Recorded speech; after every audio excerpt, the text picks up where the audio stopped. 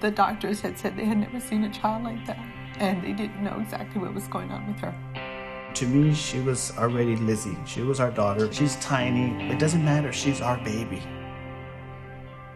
All we had known all my life was that I had a syndrome where I can't gain weight.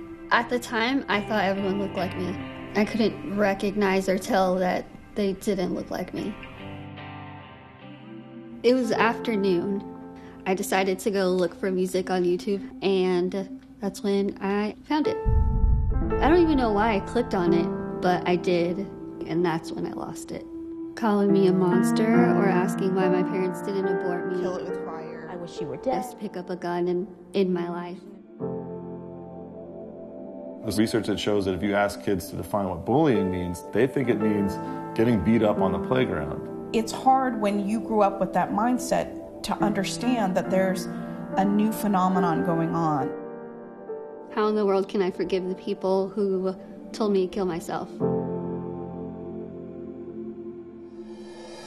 Am I gonna let the people who said kill it with fire define me?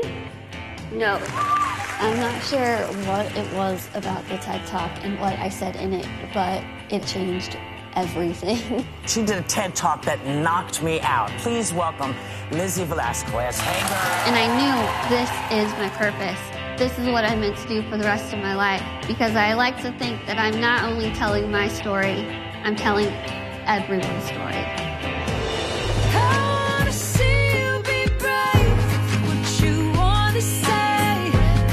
All I know is being knocked down and getting back up. I'm not going to go away until they listen. that was exciting.